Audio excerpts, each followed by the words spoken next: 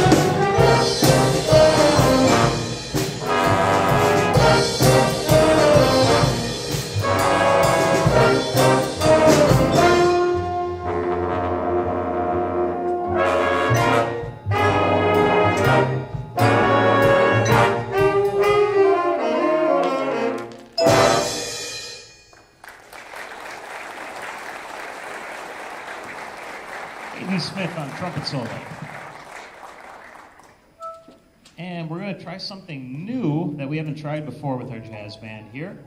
We're moving on to a tune that you might recognize, uh, a fun cha-cha called Sway. And on this one, we're going to feature our new vocalist slash drummer slash piano player slash everything else, Emily Bauer.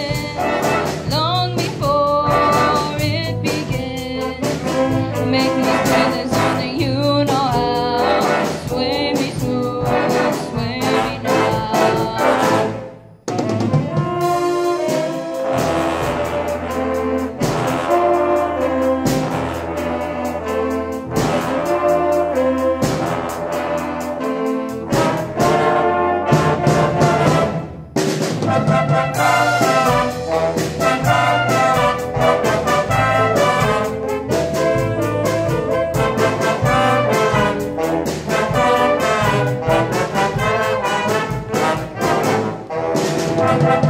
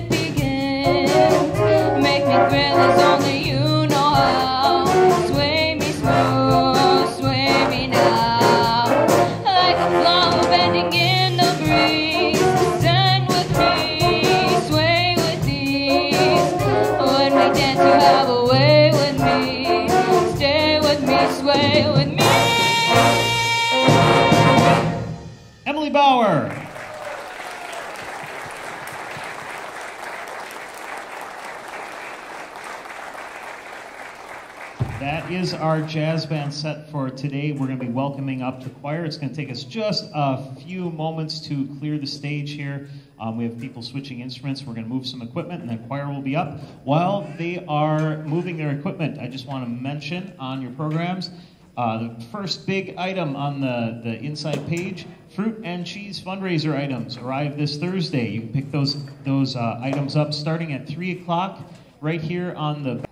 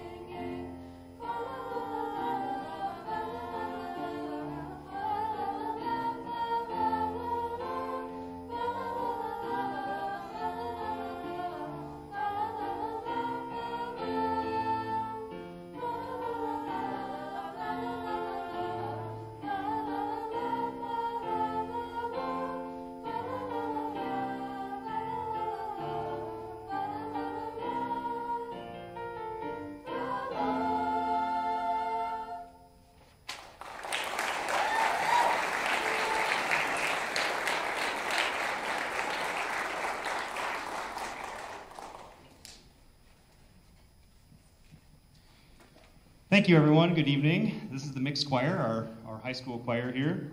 Um, we opened with a piece called Festive Madrigal, and uh, one of the big accomplishments was learning all the notes of that piece without the piano using solfege, so that was uh, pretty awesome to be able to do.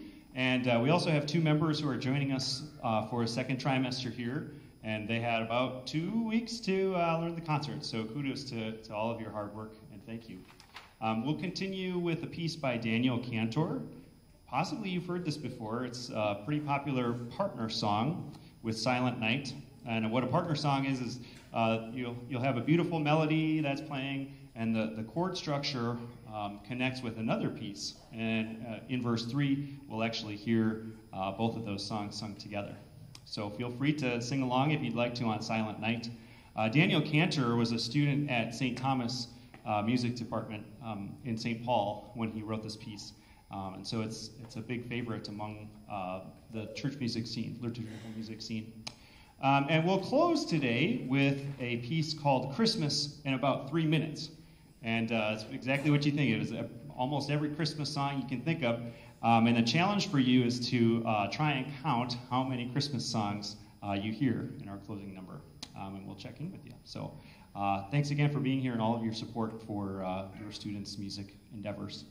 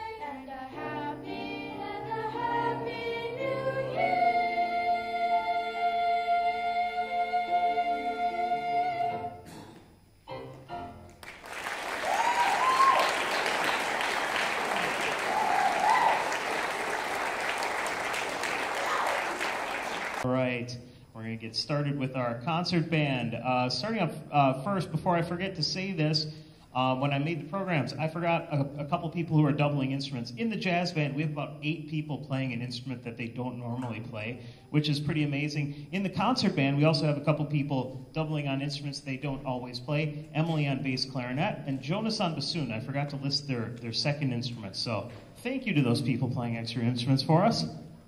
Our first tune are uh, selections from the Nutcracker.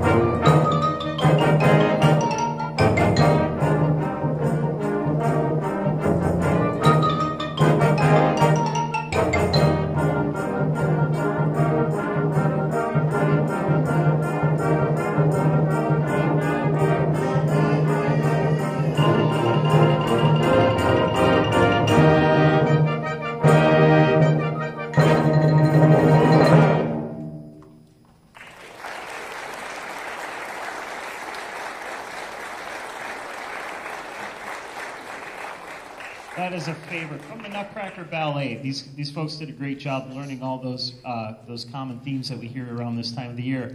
Um, the next piece we're going to do. Uh, so this one is not necessarily like a holiday tune, but it has kind of that feel to it. It feels like it could be belong at Christmas, just the way it's scored. It's there's a lot of really beautiful woodwind playing in a group, and then there's really beautiful brass choir playing.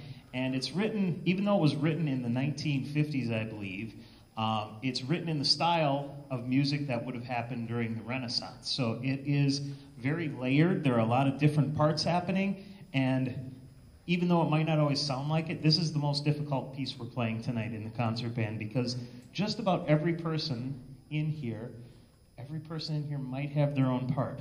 Maybe other than one or two people who get to play the same part. So we're all playing a different part, and we have to count really carefully, and we have to listen to each other and stay together with a steady beat and not get lost and balance all of our parts. And trying to do that while also playing super high on the trumpet, those are all really tough challenges, and these folks are doing a great job at it. This is uh, the Kings of France movement from Scenes from the Louvre.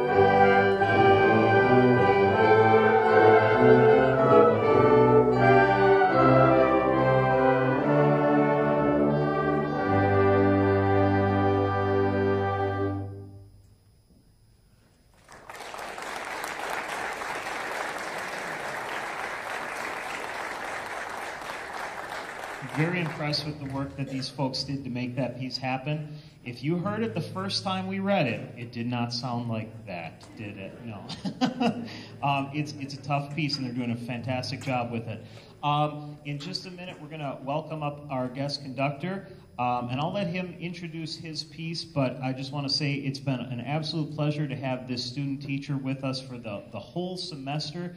He's done amazing work. He's helped us overhaul our solo ensemble library, which has just been a nightmare the last few years. He's done so much work to clean it up, get it digitized, and uh, just just keep us on top of everything. It's it's basically like having a second teacher. It is like having a second teacher in the classroom. He's just done really amazing work. I haven't had to worry at all that he uh, about any of the choices he's making. He does he has a uh, just a, a great solid grasp on how to teach music and uh, has really good instincts and has done fantastic work here so far. So can you please welcome Mr. Weston Morley up to guest conduct?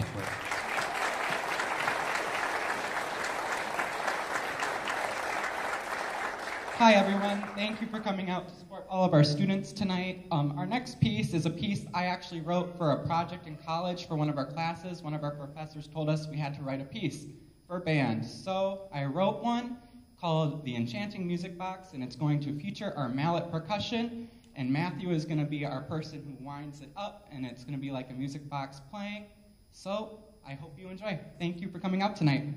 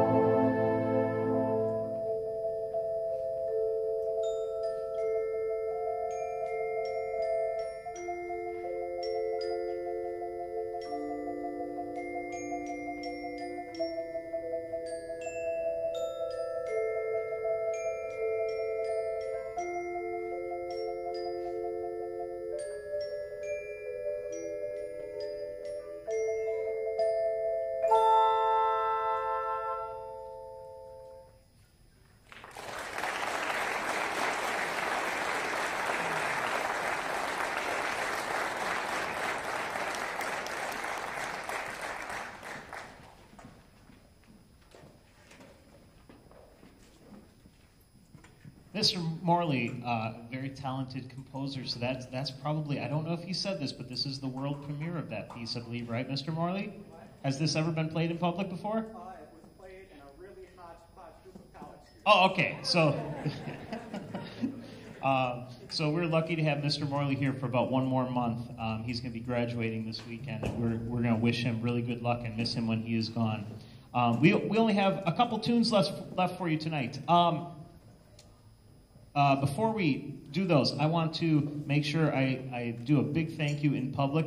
One of our middle schoolers, uh, eighth grade saxophonist, Andy DeLeon Chacon, won an art competition that was hosted by Prestige Auto in Eau Claire. And as part of her prize, she got her own prize, but she also got um, the the dealership to match up to $5,000 in donations to our band program here. So that was Andy's choice. And we are currently in the process of raising uh, money for the Student Activities Fund here that funds our trips. Um, anytime we go to see concerts, bringing in guest artists, um, the jazz concert that we're going to be doing at the Heyde Center, those are all examples, uh, and student awards, those are all examples of things that we uh, use the donated money for. So if you are somebody who uh, is looking for end of year donation opportunities, or you know somebody who might be, we have collection envelopes and flyers on the table in the lobby right where you picked up programs. Feel free to take one of those with you. The dealership will match all donations up to $5,000 through the end of this month only. So we are in our last sprint here for these last couple weeks. Um, so I just want to personally thank the uh, uh, Andy De Leon Chacon and the uh, Garber Band Shell, which has just put in a $1,000 donation to get a, a, a matching thousand, plus several people in this audience and around town have already made their own uh, donations. So we really appreciate that so much. Could we give? I don't think Andy's here tonight, but let's give her a round of applause just in spirit.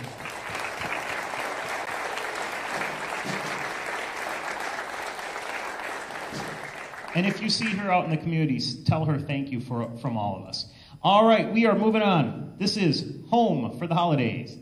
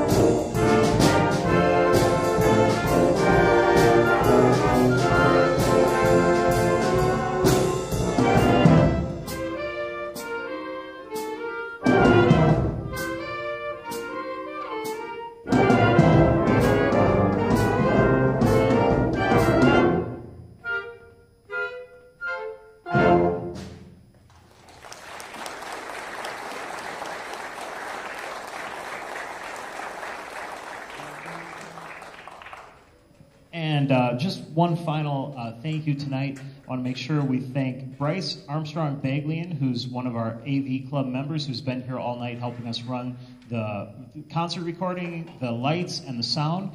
And also Michael Robinson, who sang in the choir, I believe is helping out back there right now too. We are not live streaming tonight, but we are recording, and we will put it up on YouTube and send out a link tomorrow if you want to share that with any family who didn't get to see the concert tonight.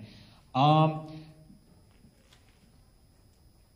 just one final reminder, and then this is our last tune. Uh, fundraiser items here this Thursday. So three o'clock to five thirty. Door number two is where we're going to pick them up. Please pick those up the day of, so that none of your cheese melts or freezes. That those are my closing remarks. So I hope uh, after this last tune, uh, you all have happy holidays, Merry Christmas, whatever you may, might celebrate. This is our last piece of the night. Here comes Santa Claus.